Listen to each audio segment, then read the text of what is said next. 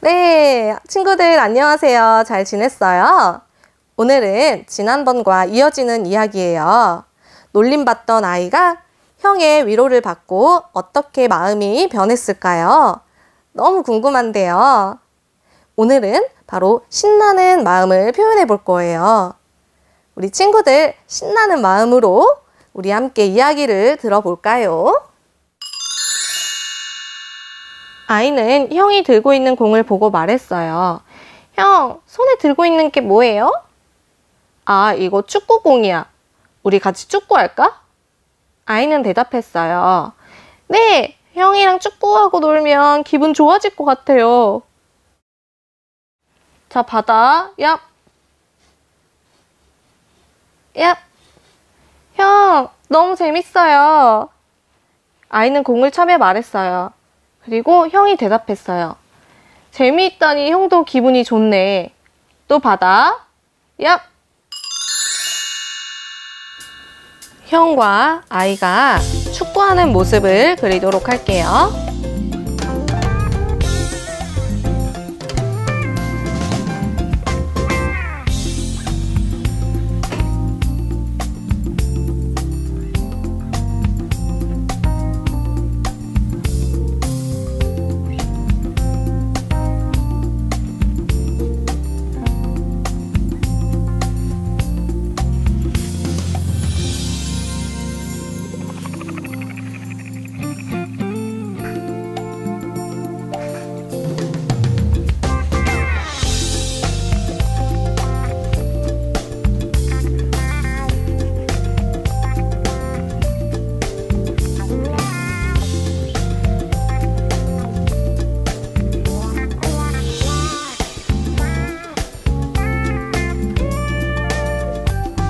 우리 친구들은 연필로 그렸을 때 여기 겹치는 선은 지우개로 지워주면 됩니다.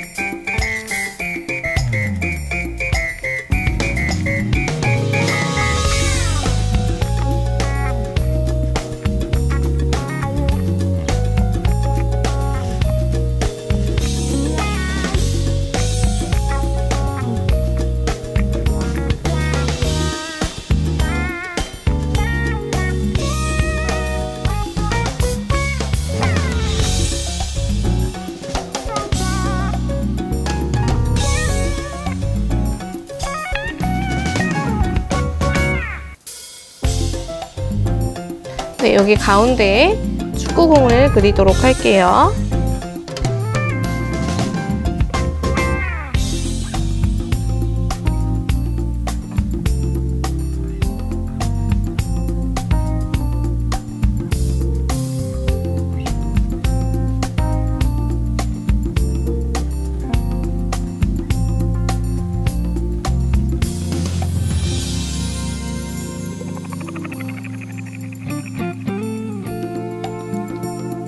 너무 어렵게 생각하지 마세요.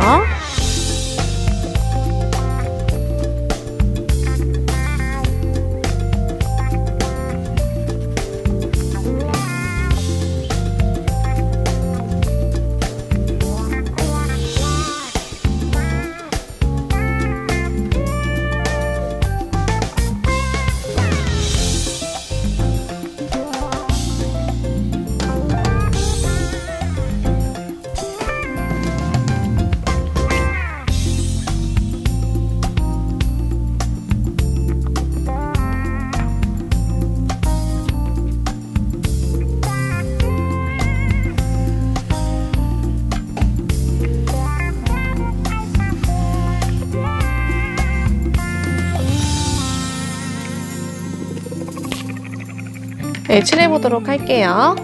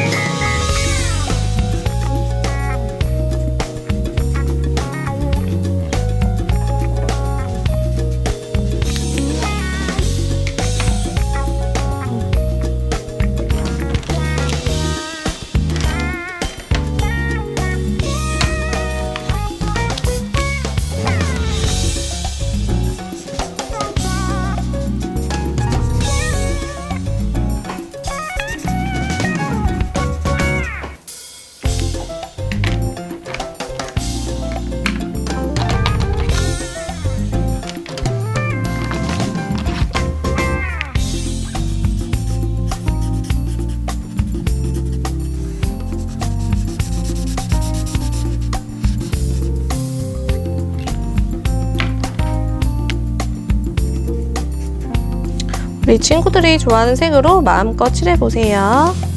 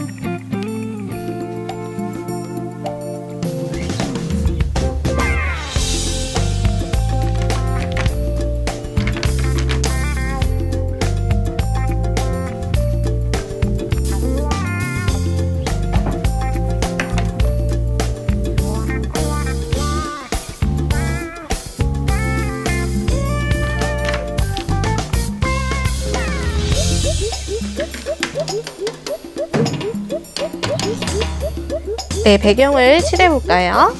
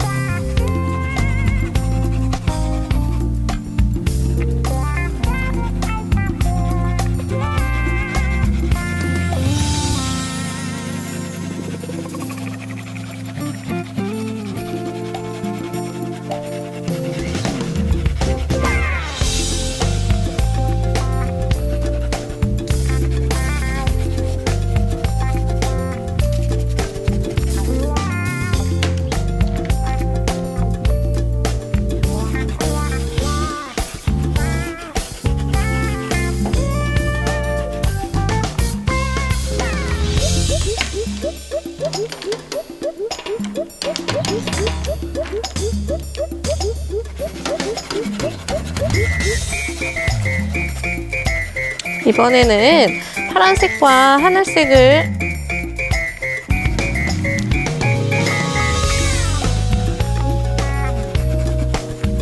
파란색과 연두색을 섞어서 쓰고 있답니다. 여러분들이 원하는 색으로 한번 섞어보고 어떤 색이 나오는지 보세요.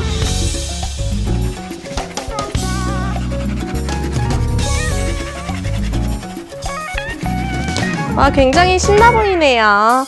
네, 완성됐어요. 네, 여러분 잘 그려봤나요? 아이와 형이 신나게 축구 놀이를 하는 모습이었어요. 우리 친구들도 공놀이 좋아하나요? 선생님도 너무 좋아하는데요. 우리 다음에 만나면 꼭 공놀이 같이 해요. 아, 아쉽게도 오늘이 마지막이에요. 우리 친구들이 사람을 많이 그렸는데 어땠나요? 너무 어렵거나 겁내지 않았으면 좋겠어요. 선생님이 가르쳐 주는 대로 똑같이 그리라고 하는 게 절대 아니니까요. 여러분들의 생각대로 그리고 표현하고 싶은 대로 마음껏 자유롭게 그리는 게 가장 멋진 그림이에요. 그걸 잘 기억하면서 다음 시간에 또 찾아오도록 할게요. 더 멋진 이야기를 들려줄 테니까 또 기대해 주세요. 우리 친구들 잘 지내요. 안녕.